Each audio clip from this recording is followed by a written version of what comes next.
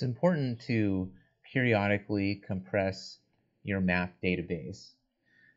As you're making changes, a log of all of your changes is being recorded, and this is what allows you to undo changes, you know, going back, you know, many, many steps.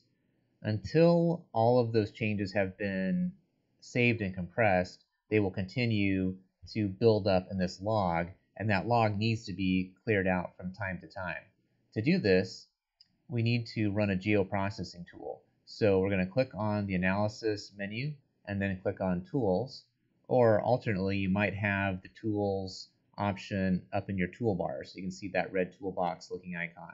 So either way, when you get to the geoprocessing window here, type in compress and press enter. And the first option in the list will be the tool that we need to use, and it's called compress. So we'll click on that.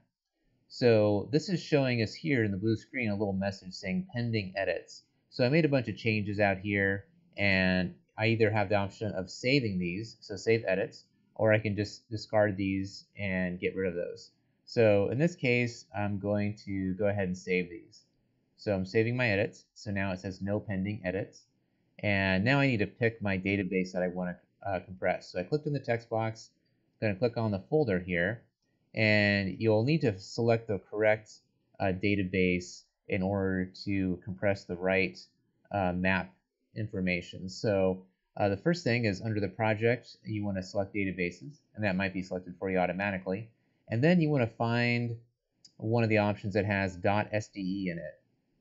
The normal naming convention is going to be uh, the utility abbreviation or name, and then electric or water or gas, and then the word Esri after that, and then .sde. So if you click on that once, it'll show up here in the name text box, and then you can say OK, and then you can say run.